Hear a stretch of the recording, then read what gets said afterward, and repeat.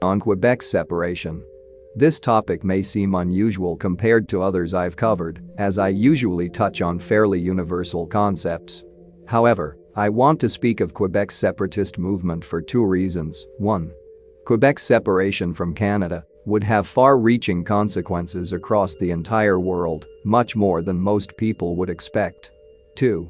It concerns me personally as I am myself a Quebecer. I won't explain the history behind Quebec separatism, the pros and cons, its legitimacy, the cultural aspects of it, or anything you would know to make an informed decision on whether Quebec should separate from the rest of Canada or not. Instead, I will focus on two things. 1. Why it is inevitable. 2. Why it is important to the rest of the world.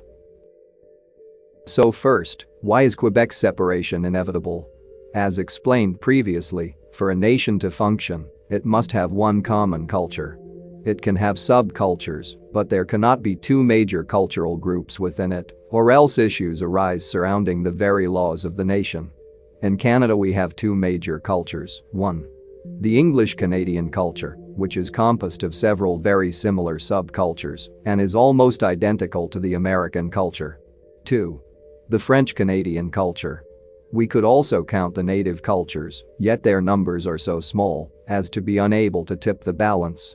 Though relevant, I'd rather stick to the topic at hand rather than explaining why I don't consider the native cultures of Canada to be major cultural groups.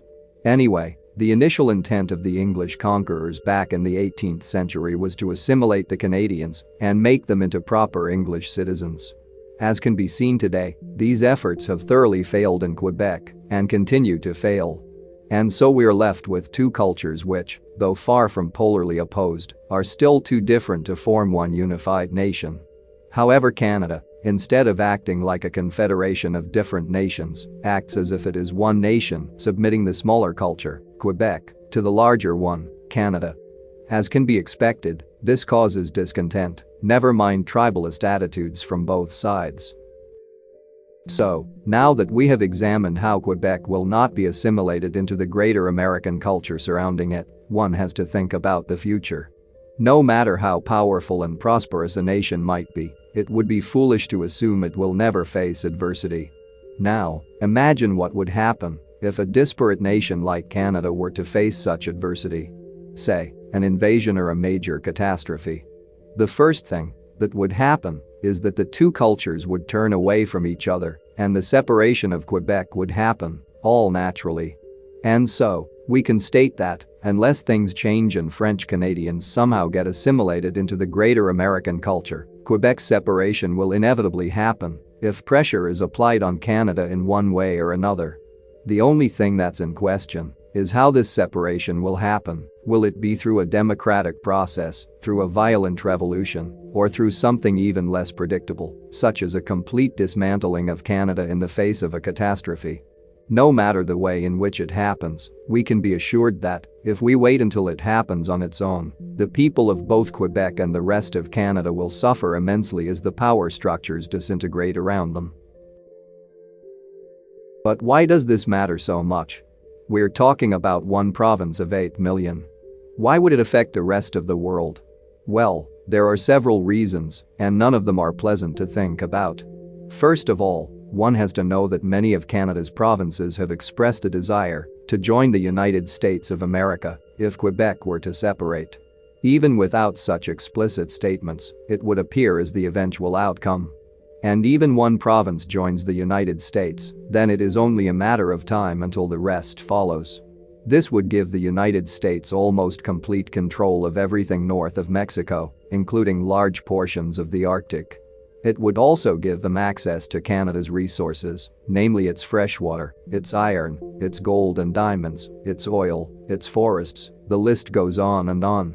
I don't think I need to explain how certain rivals of the US would react if it gained access to all this. Yet if that was all, then Quebec's separation, though important, wouldn't affect the entire world. No, there's more. Second of all, we have to understand what Quebec's separation means to the rest of the world. This would send a message to many many populations around the world, or one. It would confirm that it is indeed impossible for two different cultures to coexist within one nation governed by common laws.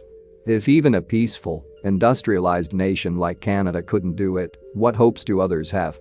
2. It is possible to achieve separation. These populations would then become very motivated to achieve the same. You could expect more separations to follow around the world, many through civil wars. And still, there are more reasons why this would affect the whole world. Third of all, you have to understand that the rest of Canada will not sit idly by and let it happen. During both referendums where Quebec citizens voted on whether they would leave Canada or not, the federal government was preparing an invasion of Quebec to secure and protect strategic facilities and resources in the eventuality of a victory of the separatists. This would mean civil war in Canada. Do you think the United States would sit idly by and let it happen? No, they would quickly get involved and attempt to pacify the region and forcefully annex Canada. However, this would also likely cause upheavals in the United States and likely trigger a second American Civil War. You can only imagine the impact this would have on the world. So, not only would the United States gain access to Canada's resources and territory as explained before, but it would be done in a way which would cause civil uprisings. And last but not least, we have to consider what Quebec's situation would be if it managed to gain its independence. We're talking about a territory several times larger than most European nations peopled by only 8 million souls, loaded with resources of all kinds, and without an army.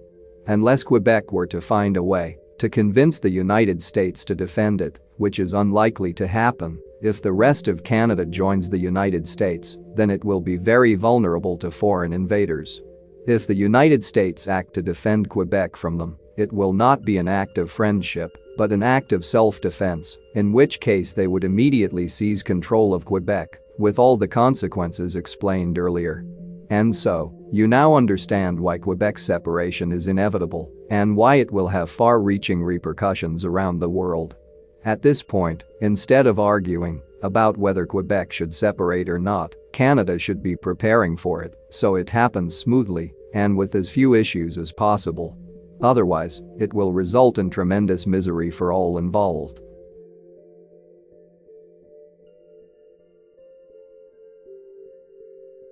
If you enjoyed this video, don't forget to subscribe.